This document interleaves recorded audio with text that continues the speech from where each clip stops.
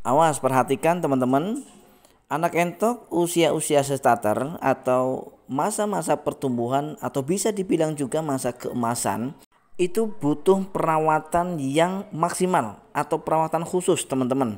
Kenapa? Karena di masa-masa ini yang pertama DOE ini masih sangat lemah. Karena mereka lemah sehingga sangat mudah sekali terjangkit oleh masuknya penyakit. Kalau penyakit sudah sampai menyerangnya, maka besar kemungkinan mereka akan bertumbangan satu persatu.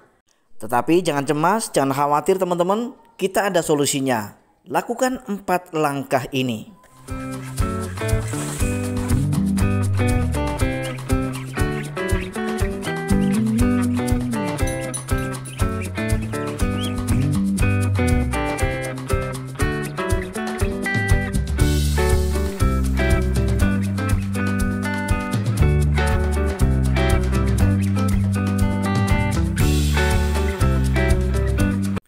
Assalamualaikum warahmatullahi wabarakatuh. Selamat datang, selamat bergabung serta selamat berjumpa kembali di channel Ruski Bikatra.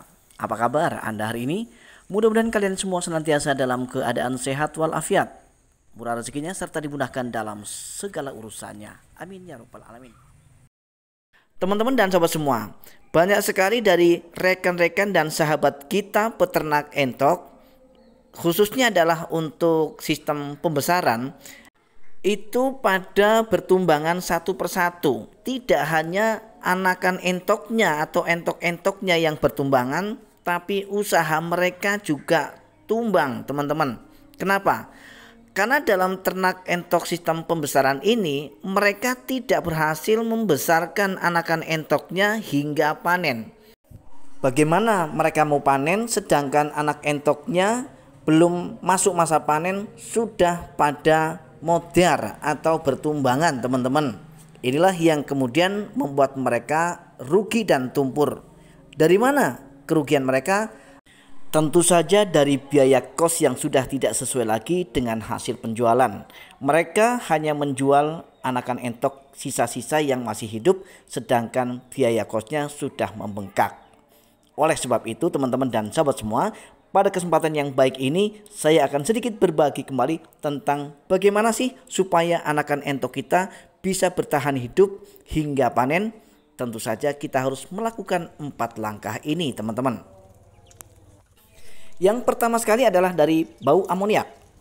Jika teman-teman membesarkan anak entok teman-teman dengan menggunakan kandang pembesaran yang beralaskan dari bambu maupun dari setrimin atau uh, kawat ayam, sebaiknya teman-teman harus bersihkan setiap hari. Apa alasannya? Karena ketika teman-teman tidak membersihkan kandangnya setiap hari, tentu saja nanti kotorannya akan semakin bertumpuk, bertumpuk, dan semakin bertambah. Dengan banyaknya kotoran yang ada di bawah eh, kandang pembesaran ini, tentu saja akan menimbulkan amoniak. Tahukah teman-teman dan sahabat semua bahwa bau amoniak atau bau kotoran e, entok ini ketika dihirup selalu oleh anakan entok kita maka akan mengganggu pernafasan dari DOE entok kita. Maka dengan terganggunya pernafasan mereka teman-teman dan sahabat semua tentu saja akan bermasalah ketika kita biarkan. Oleh sebab itu sebaiknya kandang harus dalam kondisi steril dan bersih setiap hari teman-teman. Untuk yang kedua adalah dari lampu penghangat. Lampu penghangat itu wajib hukumnya untuk kita uh, berikan atau kita pasang di kandang pembesaran kita. Apa fungsinya? Fungsinya adalah untuk uh, pengganti peran daripada indukan entok kita.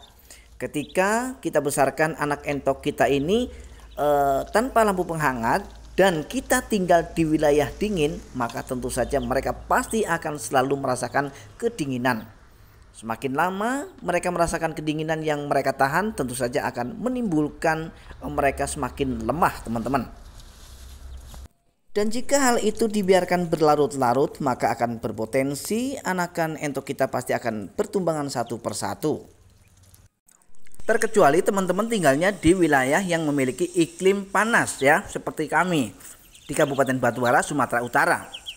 iklimnya uh, cukup panas sehingga tanpa lampu pun anak entok kita pasti akan uh, aman dan bisa tumbuh kembang secara baik teman-teman.